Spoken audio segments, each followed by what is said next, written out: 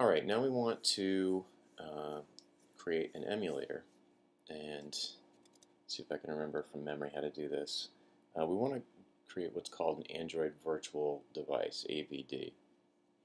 And I'll actually, I'm going to cheat a little bit and look at the uh, instructions, which is probably good because then you can see where the instructions are yourself. But if you click on installing the SDK, uh, did all that. Okay, great. This is the thing we just did right here. That's all set. So now I'm going to click into um, uh, Tools. Is that it? No. Uh, where are you, little bugger? Oh, Dev Guide, Tools, and AVDs. There we go. So this explains Android virtual devices. That's your that's going to be your phone simulator. So to do this, basically follow the instructions here. We want to use the Android command, say create AVD, give it a name and give it a target. And the target corresponds to the basically the phone that we're targeting. So in order to find out what phones we have available to target, just say Android list targets. And there's only going to be one on there because I only downloaded the one. And so if we look back here, we can do this Android create AVD name target. And the target that you put in is this ID number right here. So I'm going to say Android. Oops. Android's tough to type. Create AVD. Name, I'll just call it my simulator. And the target is going to be 1, and I'm typing a 1 because of this ID right here. If there was a whole long list of these, had I downloaded all of the different um, platforms, then I would you know, just pick the number that corresponded to the one that I wanted. So just hit enter.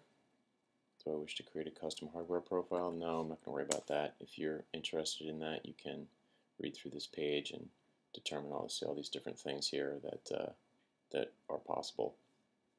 We're just going to go with the standard for now just to get everybody started. Uh, okay, great, so it's done. So now what I want to do is uh, launch the emulator. Editor, uh, what is it? Emulator. Let's see if I can remember this. My simulator. Yeah. So I, I use the emulator which if you look back here, I'm just telling it to run that command. See back in the tools directory, I've got this emulator command. So I'm saying, um, where'd you go, you bugger? There we go. So uh, emulator and space minus AVD, so I'm telling it the Android virtual device I want, and I'm typing in my simulator, which was the name I gave the simulator when I created it. Obviously, you can give it whatever name you want. Uh, so the emulator, the first time through, takes a real long time to launch, but it gets a little bit better after that. Plus, you can leave it open. And we'll just wait for that to launch. When it does launch, it's going to look like a regular, you know, like a, a typical, a typical phone screen. Let's see. Here it comes.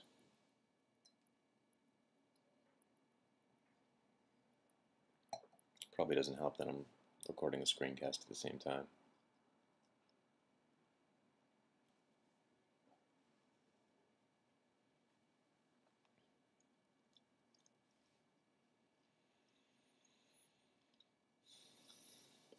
Like I said, this would be a lot quicker the second time, but since we just installed it, I don't know what it's doing, but it's doing something. Initializing.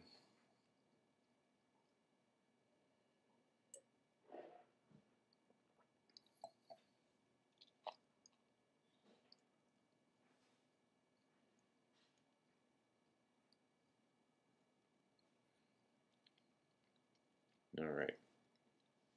Now we're at our home screen and we can look at our apps. It's still initializing.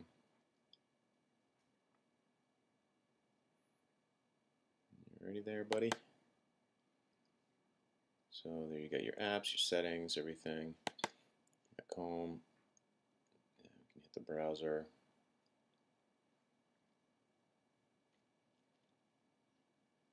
Here we are in google.com.